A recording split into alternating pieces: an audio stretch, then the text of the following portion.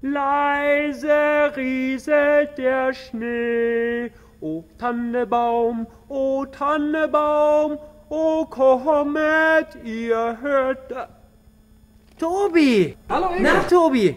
Bald ist Weihnachten! Ja, ein bisschen Zeit ist schon noch, würde ich sagen, oder? Ah, nix da! Ich habe die ersten Geschenke schon im August gekauft. Respekt. Wundervolle und extravagante Geschenke der ganz besonderen Art. Toll. Na, Tobi, erzähl, was hast du denn extravagantes für deine Frau zu Weihnachten gekauft? Also ich habe mir überlegt, ich werde sie definitiv ausführen. Oh, wie romantisch! Wohin denn? Insgesamt viermal habe ich mir überlegt. Boah, vier Veranstaltungen. Boah, du bist ja ein krasser Ehemann. Aber, aber doch nicht zum Kerzenziehen. Nein, nicht zum Kerzenziehen, aber zum Beispiel zum Gospelkonzert im Neuraum und die Woche drauf zum Music Special auch im Neuraum. Echt? Cool. Ja. Und, und, und beim dritten und vierten Date? Ja, beim dritten ist ein ganz kreativer Gottesdienst, wo ich sie mitnehme. Und zwar gibt es da Theater, da gibt es Tanz, da gibt es Video. Und zwei Personen, die ich persönlich kenne, erzählen ihre Lebensgeschichte. Und ich darf sie auch noch interviewen.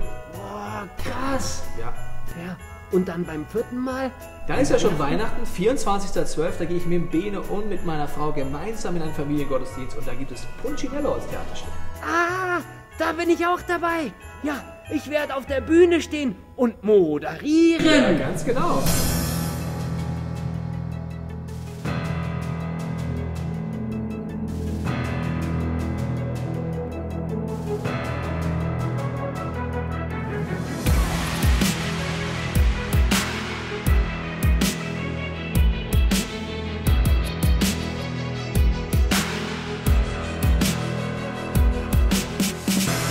Tobi, Ja, jetzt hast du aber mit der ganzen Werbung vom Thema abgelenkt. findest du? Ja, es ging um ein Geschenk.